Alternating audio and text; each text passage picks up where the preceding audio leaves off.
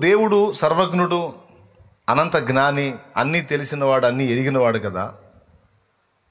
కానీ అనేక సార్లు నన్ను అడుగు అడుగు అడుగు అడుగు అని దేవుడు కోరినట్టు మనకు కనపడుతుంది.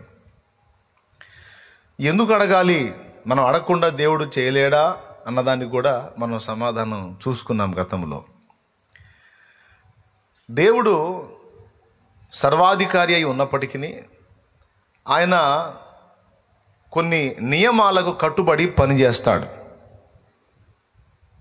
ఆయన సర్వాధికారి. ఆయన ఏదైనా చేయొచ్చు ఆయన ఇష్టం. దేవుడు ఏది చేసినా దాన్ని మనం తప్పు పట్టడానికి లేదు. వాస్తవంగా చెప్పాలంటే దేవుడు ఏది చేసినా దాన్ని మనం తప్పు పట్టడానికి లేదు. ఇలా ఎందుకు చేసావు అంటానికి లేదు. అయినా దేవుడు కొన్ని నియమాలు పెట్టుకొని ఆ నియమాల్లో తను ప్రయాణం చేయటం అనేది మనకు అర్థమవుతుంది. నేను సర్వాధికారిని కనుక నాకే నియమం ఉండదు నేను ఎట్లా పడితే అట్లా ఉంటాను అని తనకున్న అధికారాన్ని బట్టి విర్రవీగినట్టు దేవుడు చేయడు కానీ తనకంటూ కొన్ని నియమాలు పెట్టుకొని ఆయన పని చేయటం అనేది మనం బైబిల్ గ్రంథం కొంచెం జాగ్రత్తగా ధ్యానం చేస్తే అర్థమైంది ఆయన పెట్టుకున్న నియమాలలో దేవదూతల విషయంలో కానీ మానవ జాతి విషయంలో కానీ ఎవరిని కూడా ఒక నియంతలాగా బలవంత పెట్టి ఏలటం అనేది దేవునికి ఇష్టం లేదు. దేవుడు మనుషులకు కానీ దేవదూతలకు కానీ స్వాతంత్ర్యం ఇచ్చాడు. సొంత మనసు సొంత ఆలోచన సొంత బుద్ధి సొంత వివేచన సొంతంగా ఆలోచించి నిర్ణయం తీసుకొని ఆ నిర్ణయాన్ని అనుసరించి పనిచేయటానికి మనకి స్వేచ్ఛనిచ్చాడు. మనకిచ్చినటువంటి స్వేచ్ఛను దేవుడు నియంత్రించడానికి ఒక నియంతలాగా ప్రయత్నం చేయడు ఈరోజు నువ్వు ఇక్కడికి రావచ్చు ఈ లైవ్లో అందుబాటులోకి రావచ్చు లేదా ఇక్కడ మీరు ప్రేయర్కి రావచ్చు లేదా ఇంటికాడ కూర్చొని ఏదైనా వేరే కార్యాలు చేసుకోవచ్చు. నువ్వు ఎందుకు రాలే రాలేదు అని దేవుడు అడుగుడు. వస్తే నువ్వు వచ్చావని దేవుడేదో నీతో మాట్లాడాడు. ఏది? నువ్వు వచ్చావు సంతోషం థ్యాంక్ యూ అని దేవుడు నీకేదో కృతజ్ఞతలు చెప్పడం. ఎదురు చూస్తాడు రావాలని. వస్తే లోపల ఆనందపడతాడు సంతోషపడతాడు. అందుబాటులోకి వస్తే కొన్ని మాటలు అందిస్తాడు. ఇంటికాడు ఉంటే నువ్వు అయ్యో బిడ్డ రాలేదే అని కొంచెం బాధపడతాడు. అంతేగాని బలవంత పెట్టడం కానీ బలవంతాన నిన్ను బెదిరించి తీసుకొని రప్పించ ఇక్కడికి రప్పి రప్పించడం కానీ చేయడు. స్వేచ్ఛ. ఇది దేవుడు సృష్టించినటువంటి సృష్టిలో దేవదూతలకు మానవ జాతికి అనుగ్రహించబడింది. ఈ స్వేచ్ఛను దేవుడు అనుగ్రహించాడు. ఆయనే దాన్ని నియంత్రించడానికి ప్రయత్నం చేయడు. కాబట్టి మనుషుడు తన సొంత నిర్ణయం చేసి సొంత ఆలోచనతో అడుగులు వేయటానికి తనకంటూ ఒక హక్కు దేవుడు ఇచ్చేశాడు గనుక ఇప్పుడు రాజ్యాంగమే మనకు కొన్ని హక్కులు కల్పించింది. ఆ హక్కుల్ని అనుసరించి మనం బ్రతుకుతుంటే మళ్ళా ప్రభుత్వమే మనల్ని అడ్డగించిందనుకో స్వయం వైరుధ్యం అవుతుంది స్వయం ఖండన అవుతుంది. ఎందుకంటే ప్రభుత్వంలో రాజ్యాంగం రాజ్యాంగమే మనకు హక్కును కల్పించినప్పుడు దాన్ని రాజ్యపాలన చేసేటువంటి వ్యక్తులే నియంత్రించడానికి పూనుకోకూడదు. అవునా? తప్పైపోయిద్ది. అట్లాగే దేవుడు కొన్ని హక్కులు కల్పించేశాడు మనకి. దేవుడు కల్పించినటువంటి హక్కుల్ని అనుసరించి మనం మన సొంత ఇచ్చిన అనుసరించి నడుస్తున్నప్పుడు దేవుడు మనల్ని కంట్రోల్ చేయడానికి ప్రయత్నించడం. ప్రయత్నిస్తే ఆయన ఇచ్చిన హక్కుని ఆయనే అడ్డగించినట్టయితే అప్పుడు దేవుడు నియంత అనే తత్వం కిందకు వస్తాడు అనే విధానం కిందకు వస్తాడు. అది దేవుడికి ఇష్టం లేదు. అందుకే దేవదూతలకైనా మానవ జాతికైనా దేవుడిచ్చినటువంటి హక్కులను దేవుడు రద్దు చేయడు ఫ్రీ ఇచ్చాడు కనుక మన సొంతానికి మనల్ని అప్పగించేశాడు. ఒక్కడు చేస్తాడు దేవుడు. నువ్వు ఆశగా ఆయన వైపు చూస్తే ఆలోచన చెబుతాడు. ఎలా బ్రతకాలో చెబుతాడు ఎలా బ్రతకొద్దో చెబుతాడు ఏది మంచో చెబుతాడు ఏది చెడో చెబుతాడు. అంతవరకే నువ్వు అడిగితే. నువ్వు ఆయనకు అందుబాటులో ఉంటే. అంతేగాని నువ్వు ఇలా అలా అని ఒక రోబోని కానీ మనం కంట్రోల్ చేసినట్టు దేవుడు మనల్ని కంట్రోల్ చేయడానికి ప్రయత్నించడు. ఒకవేళ అలా దేవుడు ప్రయత్నిస్తే ఒక్కడు కూడా చెడ్డోడు ఉండడు. దేవునికి స్తోత్రం.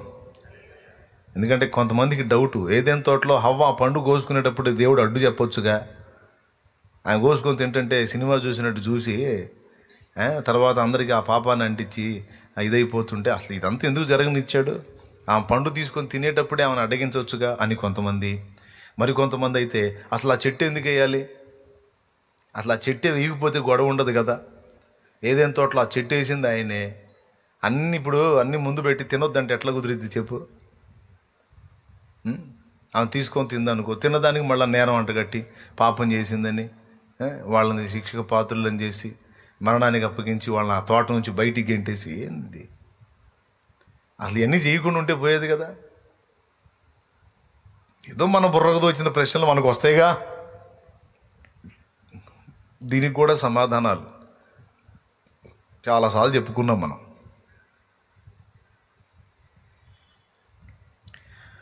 అసలు ఆ చెట్టే వేయకపోతే గొడవ వదిలిపోనని కొందరు. ఆమె పండు కోసుకొని తింటుంటే ఏం చేస్తున్నాడని కొందరు.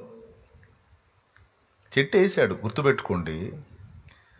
దేవుడు సృజించిన ప్రతి వస్తువు మంచిది అన్నాడు లేఖనంలో. అపోస్తరుడిన పౌలు తిమోతికి రాసిన మొదటి పత్రిక నాలుగవ అధ్యాయము నాలుగవ వచనం. దేవుడు సృజించిన ప్రతి వస్తువును మంచిది. ఆ, కృతజ్ఞతాస్థుతులు చెల్లించి పుచ్చుకొని నేడల నిషే- నిషేధింపతగినది కాదు. ఏది నిషేధింపదగినది కాదు. సృష్టిలో దేవుడు సృష్టించినటువంటి ప్రతిదీ మంచిది అని చెప్పేశాడు. చెడిపోయింది దేవుడు చెయ్యడు. చెడ్డవాటిని దేవుడే సృష్టిస్తే చెడుకు ఆయనే మూలం అవుతాడు. అలా పొరపాటును కూడా దేవుడు చేయడు దేవుడు తాను సృజించిన సృష్టి యావత్తు చూచినప్పుడు అది మంచిదిగా నుండెను. అది వాక్యం. అందులో ఏదేం తోటలో చెట్టు కూడా ఉందిగా? మంచి చెడులో తెలియనిచ్చే చెట్టు. ఆయన చేసిన సృష్టి యావత్తు చూచినప్పుడు ఆది కాండం మొదటి అధ్యాయం.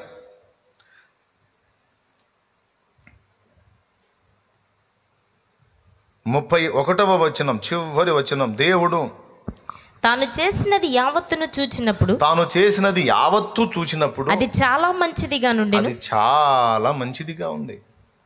ఇప్పుడు ఈ మంచిది అన్న దానిలో ఏదైనా తోట ఉందా లేదా? అందులో మంచి చెడులో తెలియనిచ్చే చెట్టు కూడా ఉందా లేదా? అది కూడా మంచిదే. అసలు ఆ చెట్టు వల్లే కదా ఈ దరిద్రం అంతా వచ్చింది. ఆ చెట్టు అసలు ఎందుకు మొలిపించాడు? అనే ప్రశ్నకి ఇదిగో ఆన్సరు. తిమోతి పత్రికలో దేవుడు సృజించిన ప్రతి వస్తువు మంచిదన్నాడు. ఆదికాండం ఒకటి ముప్పై ఒకటిలోనేమో ఆయన చేసిన సృష్టి యావత్తూ చూచినప్పుడు అది చాలా మంచిదిగా నుండెను. మంచిది. ఏం మంచిదన్నా? పండు తిన్నాకనే కదా ఎగసట్లన్నీ వచ్చింది. అంటే విషయం ఏంటంటే ఉన్న డేంజర్ అంతా పండులో కాదు. పండులో కాదు ఆజ్ఞలో ఉంది. రహస్యం అంతా ఆజ్ఞలో ఉంది. చెట్టులో కాదు పండులో కాదు. ఒకవేళ జీవవృక్షపు చెట్టు చూపించి అది తీసుకొని తినవద్దు అని ఒకవేళ ఆజ్ఞ జారీ చేసినట్లయితే అప్పుడు అది కూడా అది తీసుకొని తిన్నా కూడా డేంజర్ అయ్యేది. ఇక్కడ ఉన్న డేంజర్ అంతా చెట్లల్లో పండ్లల్లో లేకపోతే సృష్టిలో లేదు దేవుని ఆజ్ఞలో ఉన్నది. అక్షరము చంపును గాని ఆత్మ జీవింపజేయును. ఆజ్ఞను హేతువు చేసుకొని పాపము ఏం చేస్తుంది? వేలుబడి చేస్తుందా? ఏం చేస్తుంది నాయన? ఆజ్ఞను ఆధారం చేసుకొని పాపం పెత్తనం మొదలు పెట్టిద్ది. దేవునికి స్తోత్రం కలుగును గాక. ఆజ్ఞ లేనప్పుడు పాపము మృతము. ఆజ్ఞ వచ్చినప్పుడు పాపం అనే దానికి జీవం వచ్చేసింది. దేవునికి స్తోత్రం కలుగును గాక. లూయ పాపం ఏంటి? ఆజ్ఞ అతిక్రమమే? నువ్వు అది తినొద్దు అనే మాటలో ఉంది ప్రమాదం అంతా. అర్థమైందా? చెట్టులో కాదు. చాలామంది ఆ చెట్టు ఎందుకు వేయాలి? ఆమె కోసుకొని తింటుంటే ఆపొచ్చుగా. సరే ఆ ఏదో పనికి మాలింది తిందనుకో. వాళ్ళ ఆయనకి ఇస్తున్నప్పుడు ఆదాము నన్ను ఆదాము నువ్వు ఆగు నువ్వు తినవాకు. పిచ్చి పని చేసింది. అని ఆదాము నన్ను ఆపితే కొంత బాగుండేది కదా. దేవునికి స్తోత్రం కలుగును గాక. హలలుయ ఆదాము చాలా జ్ఞానంగా ప్రవర్తించాడు అక్కడ.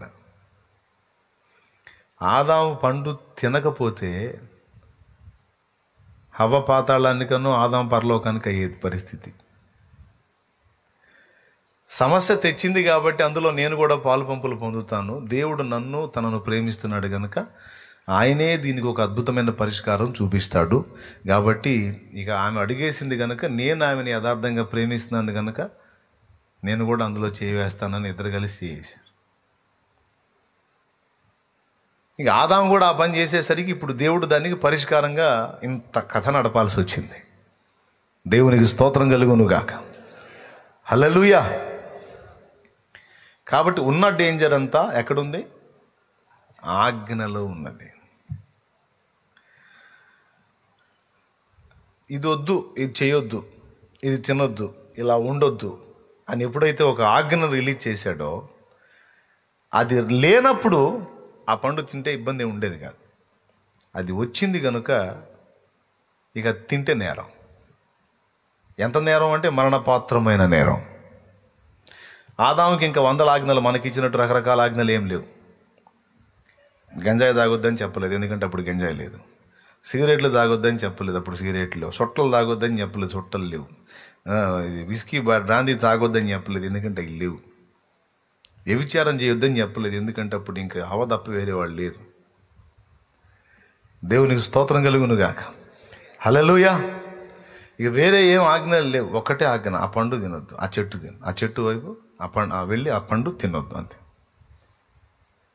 అప్పుడున్న పరిస్థితి తగ్గట్టు ఒక్క ఆజ్ఞని ఇచ్చాడు. ఆ ఒక్క ఆజ్ఞ మీరటంలో మానవుని స్వయంకృతాపరాధం ఉంది అందులో దేవుడు బాధ్యుడుగాడు. ఆ చెట్టు కూడా ఎందుకు నాటాడు? అంటే వారి కోసమే. వారి కోసమే. పెద్ద మొత్తంలో డబ్బు కావాలంటాడు కొడుకు. డబ్బు ఉంటుంది. ఇంట్లోనే ఉంటుంది. బ్యాంకులో కూడా ఉంటుంది. వాడి పేరు మీదే ఉంటుంది. నేను తీసుకుంటా అంటే తండ్రి ఊరుకోడు. ఇప్పుడు వద్దు అంటాడు. వాడు వెళ్ళి బలవంతంగా తీసుకుంటే నేరం అయిపోతుంది వాడి కోసమే ఉంచాడు వాడి క్షేమం కోసమే దాచాడు వాడి కోసమే భద్రపరిచాడు. ఒక టైం వస్తుంది ఆ టైం వచ్చినప్పుడు తండ్రి అవి తీసి కొడుకు ఇస్తాడు లేదా ఆ తాళపు చెవి కొడుకు ఇస్తాడు తండ్రి తనంతట తాను కొడుకుకి ఇచ్చిన దాకా కొడుకు ఆగాలి. అంతేగాని తపన పడి తొందరపడి ముందుగా అది తీసుకోవటానికి లేదు. ఆదాము కోసమే అది వేసింది. ఆదాం హవల కోసమే. దేవుడు అందులో ఉంచింది. మంచిది అన్నీ మంచియే. అందు దాంతోపాటు ఇది కూడా మంచిదే. అయితే తీసుకోవాల్సిన టైంని వీళ్ళు తొందరపడ్డారు అన్నమాట కొంచెం నిరీక్షించినట్టయితే. తప్పకుండా ఇంకొకటి జరిగేది. జీవవృక్ష ఫలం కోసుకొని తినేవాళ్ళు. జీవవృక్ష ఫలం కోసుకొని తిన్న తర్వాత ఇక వాళ్ళకి నిరంతరం జీవించేటువంటి శక్తి వచ్చేసేది. నిరంతరం జీవించే శక్తి ఇక మరణమే లేనటువంటి స్థితి వచ్చేది. మరణం ఎందుకు వచ్చింది? ఆజ్ఞను అతిక్రమించినందున మరణం వచ్చింది. ఇప్పుడు మరణమే లేని జీవం వాళ్ళకి రాబోతుంది అంటే అర్థం ఏంటి? జీవవృక్ష పండు తింటే జీవం వస్తుంది. జీవం వచ్చినప్పుడు ఇక మరణం వాళ్ళ మీద ఏలుబడి దాని అర్థం ఏంటంటే మరణకరమైన పాపం ఇక వాళ్ళు చేయడానికి అవకాశం లేని అద్భుత శక్తి వాళ్ళకు వచ్చేది ఇప్పుడేం జరుగుతుంది? మంచి చెడు పండు తిన్నప్పుడు మంచేదో చెడేదో తెలుస్తుంది కానీ మంచిని మాత్రమే చేసి చెడును కంట్రోల్ చేసుకునే శక్తి లేదు. మళ్ళీ చెప్తున్నా. మంచేదో చెడేదో తెలుస్తుంది ఈ పండు తినటం వల్ల కానీ మంచిని మాత్రమే చేసి చెడును నియంత్రించుకునే శక్తి లేదు ఇప్పుడు మనకి. అదే జీవవృక్ష ఫలం కానీ తీసుకున్నట్టయితే ముందు ఆదాం హవలు ఆ శక్తి వాళ్ళకి లభించేది. ఎందుకంటే ఇక మరణం అనేది వాళ్ళకు ఉండదు కదా. నిత్యము జీవం కదా. ఆ జీవంతో పాటు నియంత్రణ శక్తి ఉంటేనే జీవం. అర్థమైందా? ఆ చెట్టులో ఆ పండులో ఉన్న శక్తి అది. ఖచ్చితంగా వాళ్ళు ఆ పండు కోసుకొని తిన్నట్టయితే ఆదాం హవలారా? రైట్. నేను అనుకున్నట్టే ఆ పండు కోసుకొని తిన్నారు. రైట్ ఇప్పుడు మీరు నిరంతరం జీవిస్తారు కనుక ఇప్పుడు మీకు మంచి చెడుల వివేచన తెలియాలి. ఇదిగో ఆ పండు కోసుకొని తినండి అని ఆయన ఇచ్చేవాడు. ఎప్పుడు ఏది చేయాలో దేవునికి తెలుసు. ముందు ఇది తినండి తర్వాత అది ఇస్తాననే ఒక్క విషయాన్ని మాత్రం మరుగు చేసి పరీక్షించాడు పరిశోధించాడు. ఎందుకంటే వీళ్ళకి అన్నీ ఇచ్చాను అన్నీ చేశాను. వాళ్ళ ప్రేమ వాళ్ళ విధేయతకు ఒక చిన్న పరీక్ష పెట్టుకుంటానని పెట్టుకున్నాడు. ఆ ఒక్క చిన్న పరీక్షలో ఫెయిల్ ఇక అప్పటి నుంచి ఇప్పటిదాకా వాళ్ళే కాదు వాళ్ళ రక్తం మంచుకు పుట్టిన మన బతుకులు కూడా అంతే తగలబట్టాయి